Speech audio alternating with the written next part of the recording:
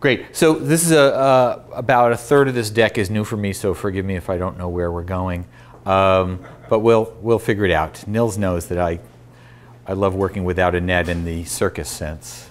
Okay, so um, here's me. Uh, that's the book we're going to give away. Uh, I've been doing product management since before the discovery of electricity. So um, that's about 25 years. Um, the things I worry about the most as an independent consultant, usually coming in as the interim VP of product or coaching the senior folks is, um, have we figured out how to make money? That's important. Have we built a product management and overall team that works together? Does the organization work?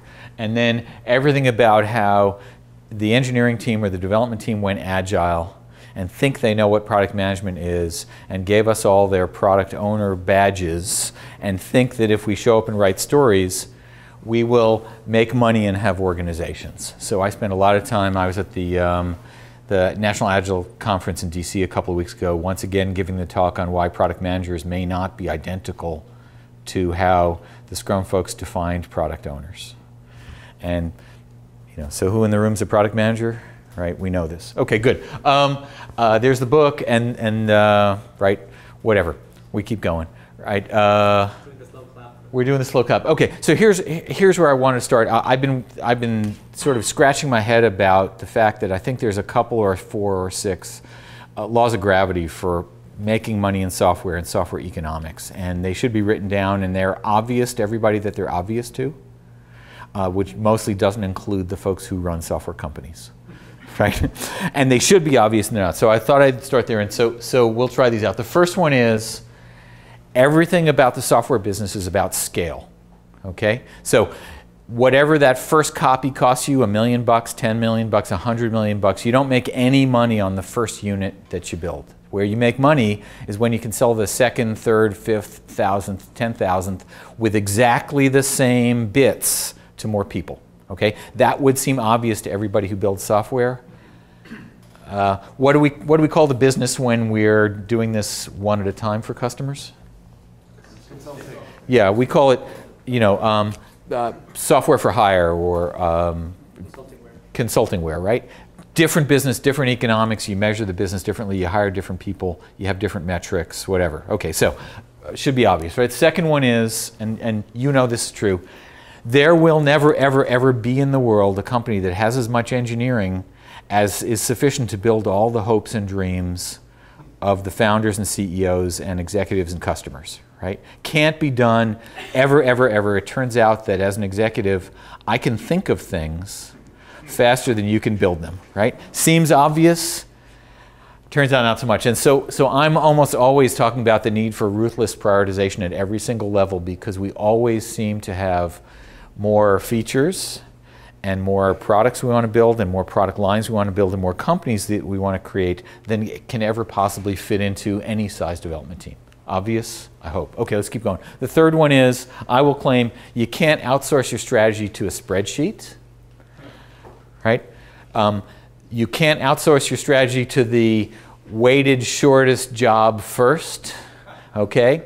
You can't outsource your, your strategy to letting your customers vote up what they want you to do. Okay? All of the outsourcing of strategy, I think, is a complete failure at the executive level and leads to end of company. Right? We used to call it end of job in the punch card days.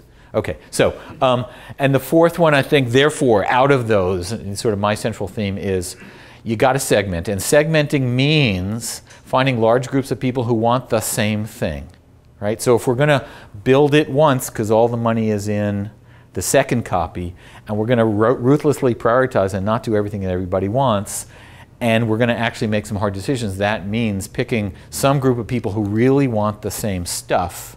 So the art of picking your customers turns out to be at least as important as designing your technology. Right? So um, I'm wearing my product manager hat, but I'm really wearing my product strategy hat because the gosh, I just got a call from some big customer who wants X. Interesting, right? Necessary but not sufficient. Okay, so let's, so let's peel it back a little bit. Here's, here's the big thought for the night, if you haven't seen it before. I will claim, um, having just been coming back from the Agile conference, there's nothing more wasteful in the world than building a beautiful product that nobody buys or nobody uses, right? Almost everything that you see in the scaled Agile frameworks and the division of labor is about efficiency and speed and velocity and quality and it doesn't address the question of whether we're going to sell stuff that people are going to give us money for. Right? And that 3% at the beginning where you figure out whether this is a good idea before you build it seems important to me because I've worked on dozens, hundreds of projects where we got to the end, we congratulated ourselves, shipped on time, on budget, on spec, and the silence was deafening. And the resumes came out, right? So, uh, obvious, right? Okay, let's keep going. So, anybody know this product? anybody want to tell me this story? What's the biggest, meanest, toughest company in the world? It's all over the New York Times this week for making people cry in their cubes, right? Um, brilliant company, done tremendously wonderful com company things. AWS is great and all this stuff, right? Um, they wrote down $86 million worth of inventory last October, I think, right? They had warehouses full of this phone and the silence was deafening, right?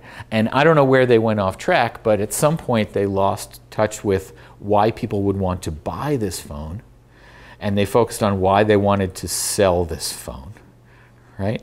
Different things, right? There's sales, there's marketing, there's product management. Okay, so let's keep going. So, and everybody has a copy of this book. Anybody not have a copy of this book? Shame on you, go buy one, right? Um, the, takeaways, of course, before we get into the portfolio stuff is I really, really believe that users understand the problems they want solved. And the misreading of all the history that says customers don't know what problems they have is just a misreading. Okay? Now, what they don't know how to do is solve their own problems. And if you outsource to your customers the solution architecture for what you should build, you deserve everything you get because most of your customers are not system architects and the ones who are do it too complicatedly, right? Um, so we have to make sure before we get too much further down the line that we've asked enough people and we've asked the right people, right? And that we aren't lying to ourselves, right? Because we really want to build something that's not just beautiful and well designed. So thanks for the folks here who are hosting who do well designed stuff, but it would be nice if somebody wanted it too, right? So, um, and, and the last point here, because, because, because, because, as soon as we put a development team on something at any company of any size, right, it has its own momentum, right? Um, anybody know what a development team of 12 costs per year in the Bay Area? Two to two and a half million dollars. Okay, so if I put a team of let's say nine people, right, you know, for four or six developers, coders, testers, uh, a UX UI person, right, whatever. I put a team of nine together. I'm running up close to two million bucks a year. It's really hard to stand up and say six months later, just kidding, right? Pivots are really expensive. Boards of directors are not excited. So as soon as you put a development team on something, it would be nice if you were mostly directionally right because the small pivots are easy, the big pivots are hard right? So the month you spend, the extra month you spend in validation before you put a whole team on there is really worth it, right? Again, completely obvious on inspection, but we have, I, I spend my time with companies almost every day where it's really urgent that we start coding because otherwise we won't get to market so soon, right? The equivalent is we can't stop for gas or we'll be late for the party, right? once you start spending the big money, everybody's committed and the, and the changes are hard and the investors are not excited, right? Okay, so let's keep going. So what does that have to do with portfolio and product strategy? Almost everything we were talking about was really individual feature or individual product level. So I think of almost all the lean startup work as one feature, one product, one team, one good idea.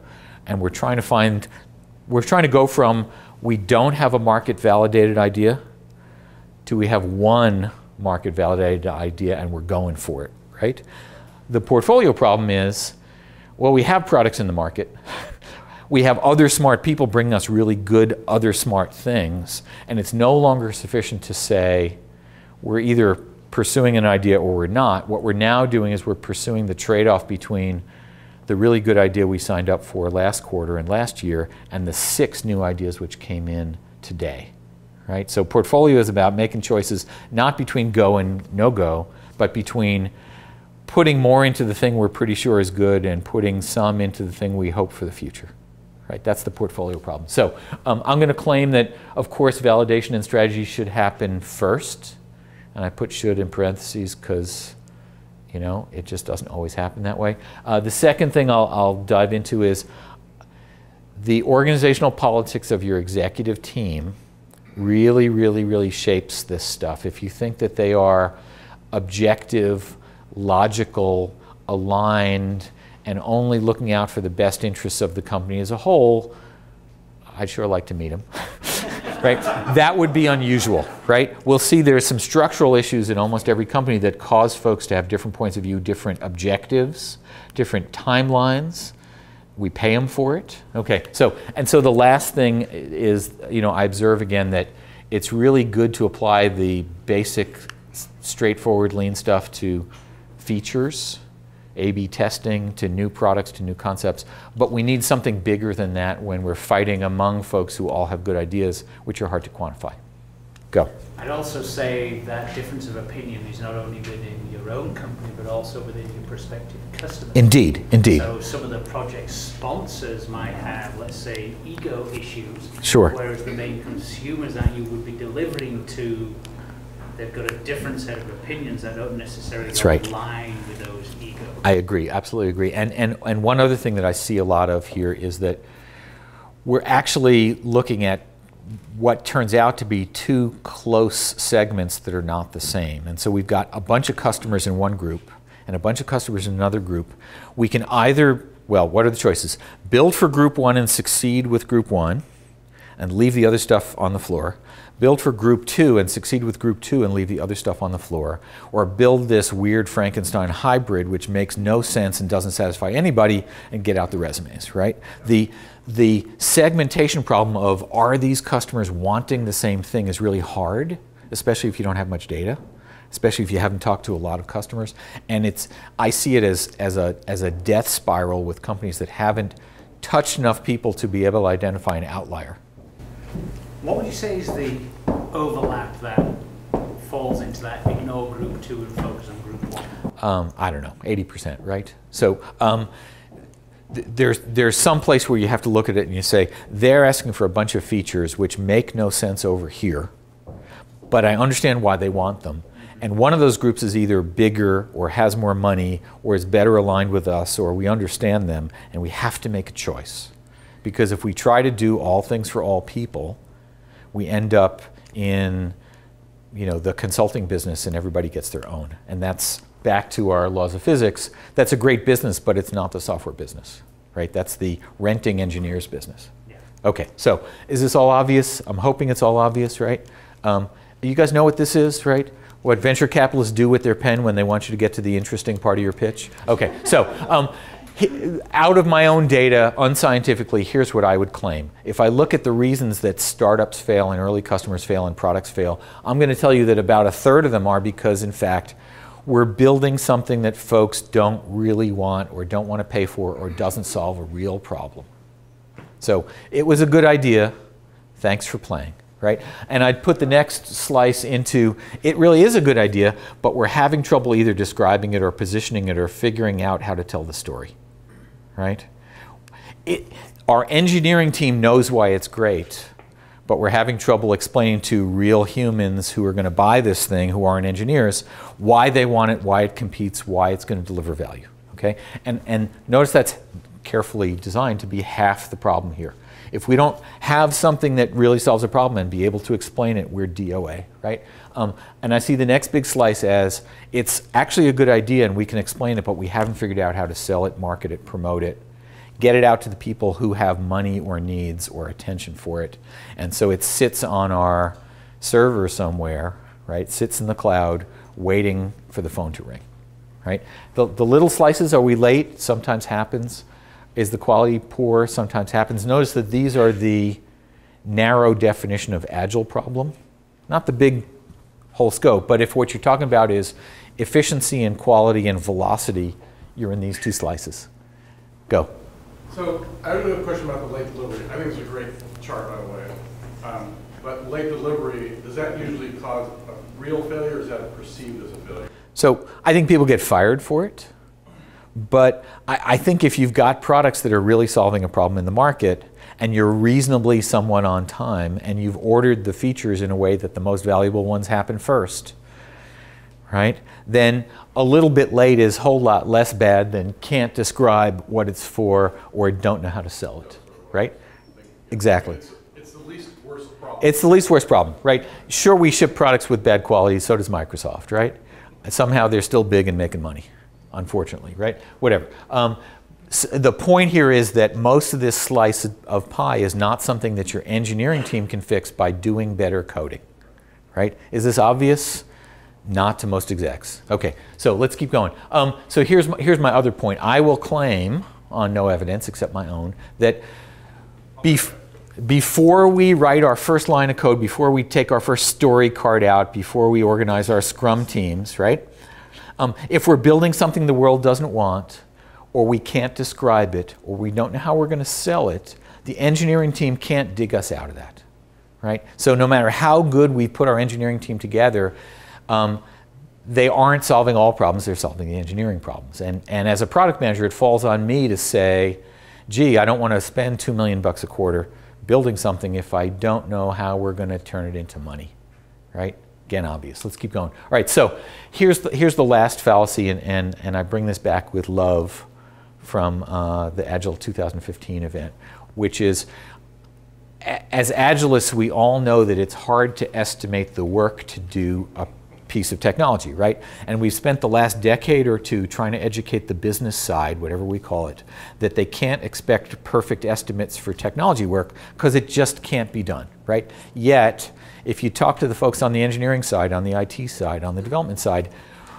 we have this mystical fake belief that the business value that somebody writes on some piece of paper is accurate and can be computed to two decimal places right? And therefore we're going to go back to our spreadsheet for a second. And therefore once we get sizing for the work we can actually let a spreadsheet decide which things are going to be most valuable because we're just going to take the cross product of value divided by time. I read an article a couple of months ago, maybe a year ago, from Harvard Business Review, and the, the idea was that the term strategic planning was an oxymoron. Maybe. Uh, stra- strategy is really about getting the data you can, drawing the conclusions you can draw, but ultimately taking an educated bet. Right, I think that's true. My experience is that ultimately somebody has to stand up, and, uh, and sometimes it's me, and say, I'm uncertain, but I'm willing to bet my job and the company's revenue because it's uncertain. And that's, that's right. paid. And if it's in Harvard Business Review, it must be true. Okay, so, so let me decompose. Not my idea. I understand. Let me decompose this for a little bit because when I say this, there's a lot of folks who spend their lives carrying business value around who get very upset, right? Rightly so. So, so let me decompose it. The first one I'd say is we're going to blend a bunch of things into business value. The first one is revenue estimates. Okay. Now, I'm pretty sure that almost no company on the planet can forecast how much money they're bringing in next quarter. So I have strong error bars in my head around how much revenue a feature or a product's going to deliver three quarters from now or five quarters from now. Directionally, I believe it. Rank order, maybe I'll believe it, but I sure don't believe the number. But I know that the folks on the business side can't ask for a project until they write a number on the spreadsheet. Yet, when I put my engineering hat on, I really want to believe that it's true because then I can do a bunch of computations, right? So we know there's future value in features and products, but they're hard to do. The second one is operational savings. So this is where we say, if you build us this tool for our consulting force, we'll be able to bid smarter contracts and we'll make 10% more margin next year. Or, you know, we can make the factory run more efficient if you build us this ERP thing. Certainly true, certainly there. Do I believe the numbers? More than I believe the revenue numbers, but not so much. Okay, let's keep going. Anybody know about future development efficiencies, the thing we call technical debt? Okay, why do we? Okay, so here's here's the giveaway. Anybody can tell me why we actually retire technical debt? Because it's too much hassle. Okay, that, that's that's the engineering answer, right? Because we can't sell to business. Okay, well that's why we don't retire it. right? We don't retire it because nobody on the business side values it, so we just let it pile up. So why should we actually retire it? Keep people from complaining. keep people from complaining. That's probably why we do it, right? But but the economic reason, right? If, if you say why should we do it, it's because. w- Go ahead. It keeps some more technical debt. You do it, you try to solve it, and you end up. Yeah, sure. Uh, but there's this mountain of technical debt, and honestly, as a product manager, I don't care. Unless, unless, unless, go. Next thing you do will be faster. That's it. So pass the book back, right? So the the promise, the, the contract we make with our engineering team, the promise from them is they should say to us, if you let us clean up this pile of technical debt, the other things we do later will happen faster. And I buy it completely. And then I ask them, how much faster will it be? I know I have to invest in it, but I really can't estimate it. Let's keep going, right? We, we will be able to do it, and if we don't address the technical debt. Sure, right.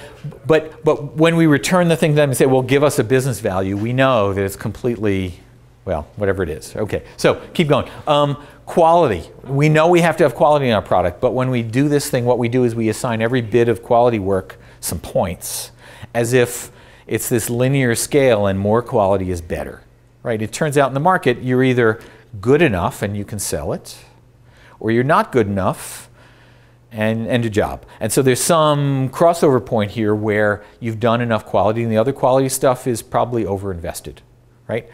And you have to find that qualitative place because the competitors otherwise will eat you alive. But giving a story point to every bug we fix doesn't work. Okay, let's keep going. Um, everybody in engineering knows that buyers are simplistic and they make decisions in some organized way and they take your data sheet and they compare it to the other guy's data sheet and they buy the product that has the better data sheet, right? It's because they never bought or sold anything, right? So, so on the engineering side, we have this belief about rational customers doing very intensive research when in fact our sales rep was in the same fraternity as the guy who's buying it in the committee, and that's why he bought it, right? Uh, politicking, yeah, we have politicking. The point of all this is we as product managers or we as executives are allocating the most precious commodity in the entire universe, which is developer time, right? So we have the smartest developers. How do I know that? They told me so. That's right. That's exactly it. I asked them. so I have the smartest developers on the planet, and the thing I have to not do is waste their time or have them work on stupid stuff, right? My, And so, my favorite is when they say, "Oh my God, we have to do this because it'll be so much fun to code." That's why I'm here. good, right. fun. So we're allocating the scarcest resource in the entire planet, which is the limited resources, because remember, we don't have enough, right? And so someone, and here's where you stand up on the chair and say, I'm willing to be fired, but somebody has to make a choice, and the spreadsheet's not sufficient, because we're forecasting revenue and we're forecasting um, technical debt use and we're forecasting what the competitors are going to do, and somebody has to make a choice, right? Fire when ready, the target's here, right? And that person generally we call, yeah, or former employee, right? Uh, good. And, and, and so, so when I look at the, the product problem and the portfolio problem, what I see is that the, the continued requirement for those of us who sit in the hot seat to stand up and say there are hard decisions to make, and we're going to look at a way to make them in a minute, and they won't be perfect, with insufficient information, with forecasts of the future, with uncertain value and uncertain engineering sizing. But you know what? We got to do it anyway, right? And that the, the idea that we can compute that, uh, I have yet to find that working. Okay, we ready to hit the hard stuff? All right, let's keep going. Go ahead, Are Nils. you, are you against analytics altogether? No, do you think I, I love back- analytics. back- I, I love analytics. I think we should be as analytical as possible. What we shouldn't do is we shouldn't believe our analytics to the place where we simply go into the meeting and say, this one scored higher than the other one, right? I, believe in So here's my use of analytics. Um, we're going to be able to get four features shipped in the next two quarters. I want to use the analytics to find the top eight. And then I want to close the door and we're going to have a fist fight for a couple of days, right? Because some of them are long term and some of them are short term and right, all the issues. I want to use the analytics as a first pass in the same way if I'm interviewing for, as I am this week, I'm helping a client of mine to interview for product managers. I use the resumes as a first cut, but I would never hire anybody off a resume, right? We got to get him in there, we got to find out who's good, right? Okay, let's keep going. So let's talk about doing, um, and let's talk about portfolio planning. This is going to sound easy because it is. Actually, it's not easy. All right, so I'm going to claim that portfolio planning is just like household budgeting. Okay, who in the room actually has a household budget and uses it every month? That's what I figured. Okay, so you guys are just like executives at every software company, right? You talk about it. okay, so the point here is we got limited development resources, which is just like your household budget, and just like your household, we got too many things to spend it on and no real controls, right? Um, as, as the parent of somebody who used to be a teenager and who would come home and say, my favorite band is coming to town and, I, and my girlfriends and I want to go see it and they're only $275 a ticket, right? We didn't have a line item for that. And then we had to make a decision about what we were not going to spend money on, right? Girl Scout cookies, college fund, right? We're putting it in a lot of buckets and it's hard to do. Um, okay, and, and, and, and, the most important thing, right? Is this true? Okay. Um, at every meeting, your execs come in with a new idea, and it's a great idea, and it's a wonderful idea, and it's an idea I absolutely support. but remember from above, we don't actually have excess resources, right? And in their minds, they've already gotten the other things they've asked for. And so they're ready to ask for new things, but we haven't finished them yet. Okay, so uniformly, what I find, particularly with execs who come up on the sales and marketing side, as opposed to the engineering side, is there's this mystical belief that there must be white space in the development calendar. And I walked through engineering and I saw that folks weren't typing, so they must not have been working. Okay? yes? Okay, let's keep going. All right, so anybody, everybody know this book? If you don't have this book, go buy this book. This is probably the most important book of the decade. Okay, this is about how people really make decisions. Okay, so Daniel Kahneman, brilliant. Why is, why is this stuff hard at the top? The first is it's really hard to attribute success, particularly in a B2B or enterprise space where there's lots of touch and lots of hands. I think it's less hard in a very high volume consumer thing. If you're doing online auctions and you can run hundreds of thousands of A-B tests, you can actually attribute success. If you're selling enterprise database licenses for $300,000 to investment banks? Not so much, okay? Oh, quick quiz. Uh, Nils, you're not allowed to answer. Okay. Um, for those of you here who are at companies that are, have enterprise sales forces, anybody? Okay, so here's the question. If I survey your sales force, what's the number one reason we closed big deals this quarter? Personal relationships.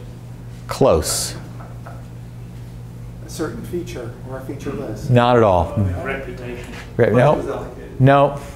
The number one reason we closed deals this quarter was. We've been working on them for the past six quarters. Go ahead, Nils. Because I am a great sales rep. Okay, ask your sales reps. It's true. Sorry. It's the same story. It is. It is actually. So the point here is, if you ask your sales reps why we won the deal, the answer is they're great sales reps. If you ask them why they lost the deal, why are the two reasons we lost the deal? price and features, okay? So if you ask your sales force to justify the success and failure, you'll find out you have great salespeople and that you need thousands more features at lower prices, okay? Very useful, okay? Good. Second is, that's right, I can sell it if I, can. well, we need to raise the price. You give away that book and he didn't. I didn't because nobody gave me the right answer. Okay, so. Um, Between him and me, we gave it the right answer. Fine. Yes, that's fine. So the second theme is remember we hire sales teams not to sell on behalf of the whole company. We hire them to close individual deals. We hire persuasive people. We pay them a lot of money. If they don't close deals, what do we do? Fire. We fire them, right? First prize is a Cadillac. Second prize is a set of knives. Third prize is you're fired. Okay. So we don't we don't we hire salespeople who are very persuasive, who know how to escalate on the customer side to the person who can say yes, who are persistent, who never take no for an answer. And when we as product managers tell them they're not getting that feature, what do they do? They escalate. They find somebody on our side to say yes. They go over our heads. They push, push, push. They inflate the size of the deal. They are in the job of getting paid for closing deals, not for the good of the company. And when we go back to segment versus customer, Sales reps are not the people who are going to give you objective points of view. Okay, so next, revenue estimates have huge bars, right? We don't actually know what's going to come in. We take our best guess. Um, and executives don't believe in the exclusive or principle. You guys know about exclusive or if you're engineers, right?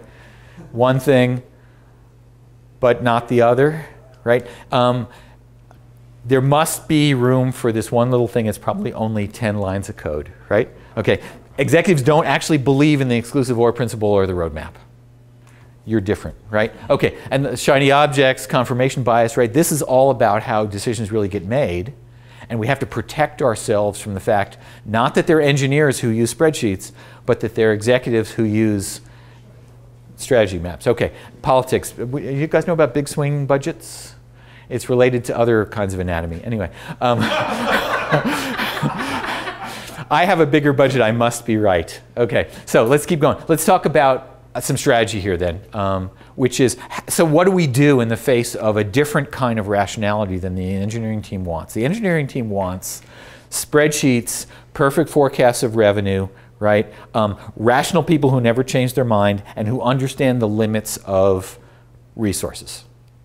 What a great company. Okay, so let's let's turn the problem a little bit and say, well, how do we put some guardrails up so we can actually make decisions? And what I'd say is it's really hard to sort unlike things. When you're trading off the next feature versus the next quality thing versus the next tech debt versus the next investment in the future versus the one-off crazy thing the sales guys brought in, those are really hard trade-offs to make, especially on the margin and especially with no planning or preparation, right? You're basically stuck and you end up going with the sales rep because he's more persuasive because that's why you hired him right? So I'm going to suggest what we do is we create groups of stuff, we create categories of stuff, and then we decide how much we can spend on the category. So we say, we're only going to have 410 story points this quarter, or whatever your unit is, for features. So which features are we going to take that don't exceed our feature budget, and we have to have the features battle against each other on an equal basis for either revenue or retaining revenue or keeping customers happy, right? Separate from which P1 and P2 bugs are we going to fix. There's some budget for fixing stuff, and there's some amount of money, a little bit, for the big, wild, crazy thing, right? Um, some of you might know I wrote an MRD in 1996 for teleportation that included pricing and competitive analysis. and my team is still working on it, right? Uh, but if we're doing that, we can't also do the other really wild, crazy thing, right? What's the budget, right? And, and the cross bucket trade offs, because all of the folks on the numerical spreadsheets, the answer side will say, oh, all you need to do is create the conversion number because one point of quality is worth two and a half dollars worth of revenue is worth 3% of a future thing. And those are all fictitious and those are all reflecting our biases about how we'd like the answers to come out because when they're wrong, we simply fix the ratios until they come out right. Don't we? Okay, that's how we know they're right because they feel good. Okay, so, uh, oh, by the way, these are two executives doing this process. Okay, so we, we had to put them in buckets. Here they are putting them in buckets. Um, I had a short consulting assignment with this company. Anyway, all right, so let's, let's uh, look at the problem. If I look at a typical software company budget, and here I'm using the word budget to mean how did we spend our valuable engineering resources last quarter? If we put them into segments, and we counted them up historically, what did we spend it on? Depends on the company. Right? I'll tell you that for enterprise companies, you're spending about 20% of your points on something you didn't plan on at the beginning of the quarter, whether it came from a sales rep or whatever, right? Random stuff came in for good or bad, and you spent 20% of your budget on things you didn't plan on, which, by the way, probably explains why 20% of the things you planned on didn't get done right? And you're going to spend about, let's say, half of it on actual features for the current release, which is good. You're going to have some amount on quality and test. If you're folding test into there, you know, you get different slices, but let's say this is all the refactoring stuff. There's some engineering overhead which we never, ever, ever, ever tell our executives about because They'll tell you to cut it. that's it, right? So the answer is if we tell our executives that there's overhead in engineering that we spend time on, they will say, Let's do that next quarter, right? Um, exactly equivalent. Anybody uh, know the proof that joining a gym has no health benefits? Okay, you actually have to go. Okay, and the reason the reason gyms make money, at least in the U.S., is because everybody joins and they never go. Right? It turns out that that's the exact same thing as saying we're going to invest in quality or futures or architecture next quarter, but this quarter it's really important right? You never get there. Go. Uh, The sales one-offs, those are probably of all the things that I have done in my career, those are the, the most frustrating things. And yet, sometimes some really good reasons are. Do you, Sure. Could you give some guidance? Uh, How do you, how do you, how do you draw the lines? Yeah, let's let's hold that for a second. Come back to it because yeah, most of those are crap, but some of them are great.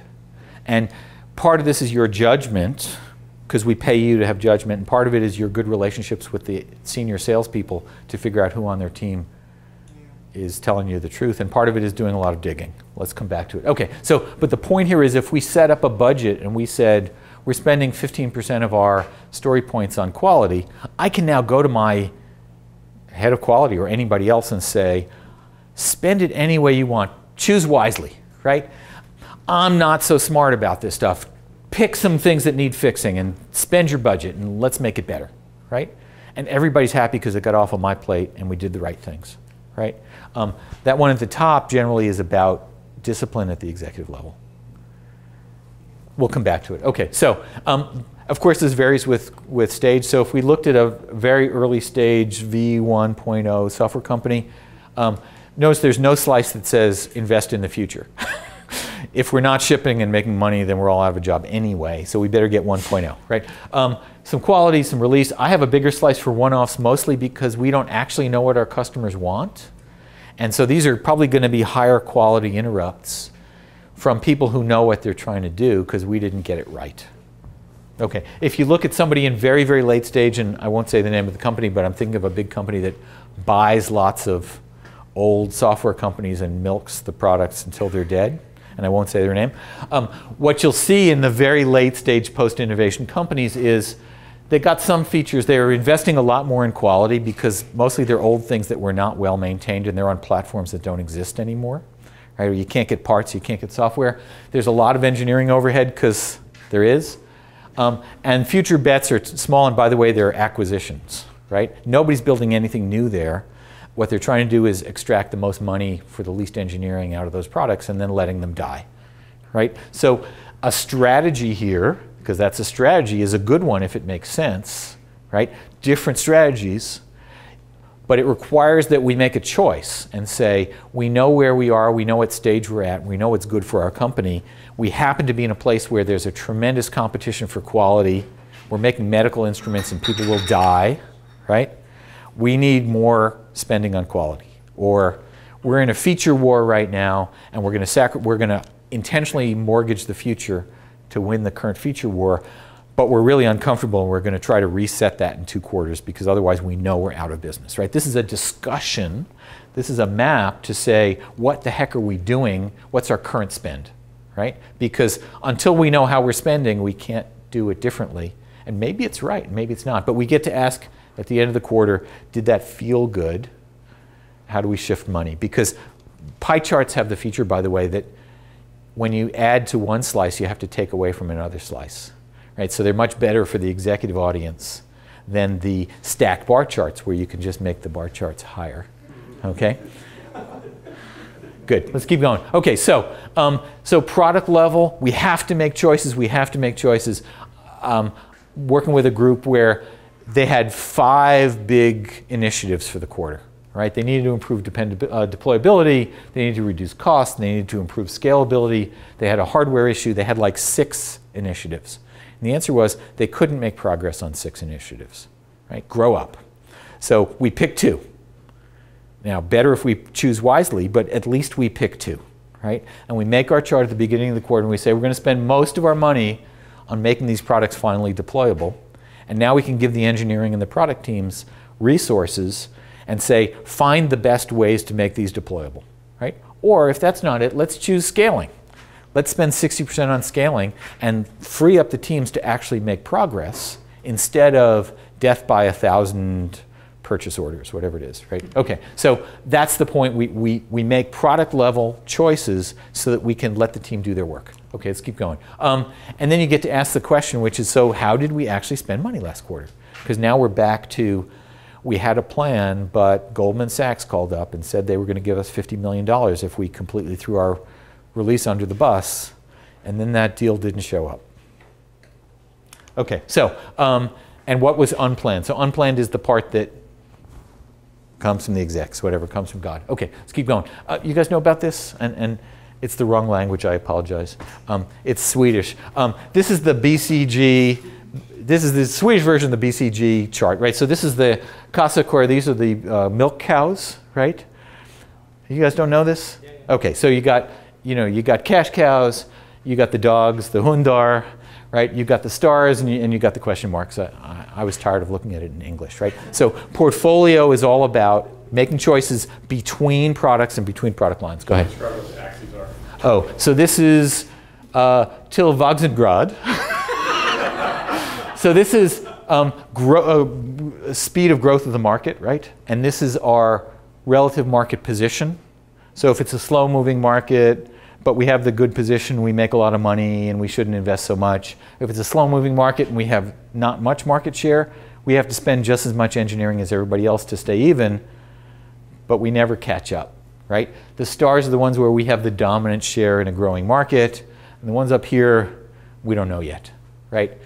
It's, it's a risk. And so the portfolio says you better have a few of these because that's how you invest. You're hoping for these.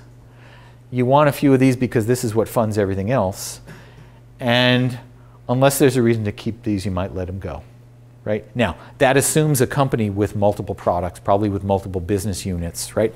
This is a big company problem, right? But when you have a portfolio, big company problem, and you get to name your animals here, right?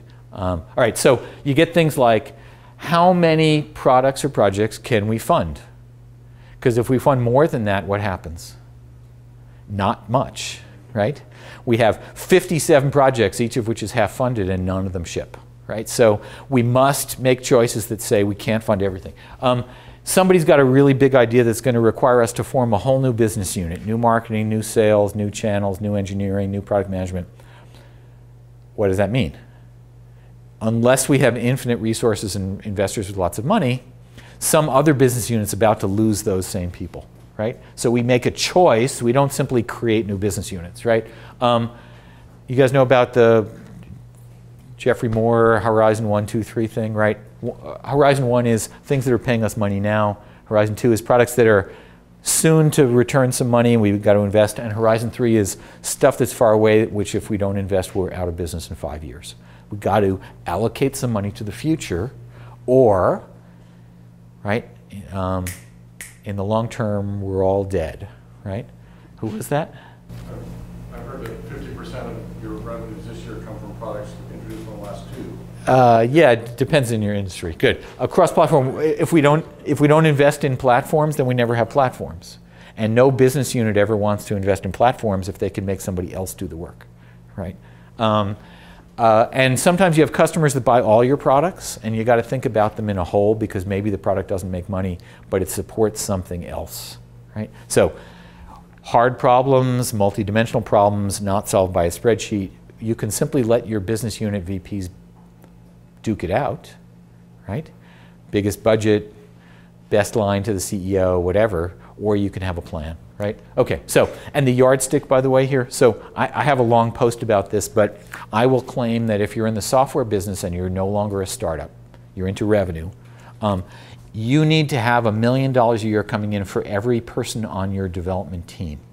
Okay, so if you have a development team of 12, devs, tests, docs, DevOps, whatever they are, you got 12 people on your team, including yourself, and you don't have a $12 million prediction for that, uh, your company is supporting you on the promise of future revenue. Because big companies are bringing in a million bucks per head on the development side. So if you have a really, really smart idea that takes 25 engineers, and you think it's a $10 million idea, um, sell it to somebody else. Um, the, the metric here is important, not when you're at a startup because you never know, but as you get big, the way companies get valued is, turns out to be uh, revenue as a function of R&D, right? So if you can't, as a product manager, when you go into your boss and say, I need nine more developers or development team for my stuff, you're making a promise, whether you know it or not, that in the next year or two, you've added another $9 million to the bottom line, to the top line revenue. Okay? And if you don't know that, somebody in finance will eventually help you understand it, and then you fall into the ex-employee category. Okay, so um, he, so here's my takeaways because I expect we're out of time, right? Um, Again, I think you can't outsource strategy. I think folks who do bottom up strategy, which means we simply let everybody vote or the best little bits come up from the bottom, end up with co- incoherent products, right? They end up with random, uncurated, weird stuff that doesn't answer any particular need, right? You can't just, you need bottom up is good, top down is required. And as you get past version one, this gets harder to do because it's harder to figure out who it's buying. Okay, next one. Um, yeah, validation before development. This is again obvious, yet everybody's not doing it. Before you put the big development team on, hint, hint, hint, sure it's a decently good idea that's directionally correct. Okay. Um, product level, portfolio level allocations, that's the pie charts, right? Make some choices before the meeting with the salespeople. So uh, a short answer here, I had a great VP of sales at a company I was at about a decade ago called AirMagnet. His name's Stuart. I think he's terrific. And we, we made the following arrangement. Um, I gave him a magic bullet that was worth one week of engineering every quarter. And he could use it on anything he wanted that fit into one week of engineering. Why did I do this? It had a really cool side effect. And the side effect was whenever one of his sales reps came to me and said, what do they always say? I need you to do this. It's really urgent. It's really important. It can't be very hard. I got to say, well, you know, Stuart has the magic bullet, and if he thinks this is worth it and there's real revenue, because he's a sales guy and he can see the lips moving, right? Um, then we'll do it, right? And if not, not my problem, right? I outsourced to Stuart the problem of which of his sales reps really had deals that could close with one more small feature. And if he chose wisely, he made a lot more money that quarter. I actually did something similar where when I was managing engineering, I would always tell the salesperson rather than no, if you can get your VP to fund two contractors for me, I can do it. And they would never come up with the Right. you know, tw- thirty or forty thousand Indeed, dollars. right. Except one time, I got yelled at for it by my VP. But but it almost always Right, people right. away. Uh, another choice is say, well, I'd love to move that to the top of the list. You're going to help me make the phone calls to the 25 customers that we promised the release to, who are worth 80 times as much revenue as this deal. Okay, last one. Um, you still have to have a great development team, right? Agile is important. DevOps is important. Velocity is important. Building great architected software is important. If you can't do it, you can't ship, you're out of business. It doesn't matter what your strategy is. So we can't kick our engineering brethren under the bus here. We need them. They're smarter than us and they're better than us and they're better paid than us, but we have to have them work on the right stuff. And, and we can't let them be in a position where random people are pulling them in random directions and wasting their time because that ends up nowhere. Okay, so that's the, I think that's the end. That's the takeaways, by the way. So you know this is a takeaway container. Anybody who missed it? Okay. So um, last thought. Here's how to find me. Okay. Um, we have one of these left to give away. Um, and again, anybody who knows the answer isn't allowed. uh, so uh, how is it that you can get your own name as your domain name? Notice that my last name and my domain name are the same. Not so easy to do. How do you do that? I, I wanted to give this away. It's an unusual name, so you were able to pay a fairly low price. Yeah, good, good answer. Not the right one. okay. Um, anyway, so so the the answer is if you buy your your last name as a domain name in 1995, when nobody's buying domain names, it's really easy and cheap. Um, but uh, I'll post the slides. You got you'll get the video. Um, anybody who didn't get a book and wanted a book and drops me an email and specifies whether they want the Kindle or the iOS or the PDF versions, because in this market, of course, it's not allowable for one vendor to use the same file format as another major vendor. Um, I'll send you the book. Okay, questions? Do we have time for questions? Or are we out? You will post the slides to the website? Yeah, I'll post them And we'll do questions uh, after. afterwards. Okay, good. So, uh, Done. Thank you so much, Rich. Thank you.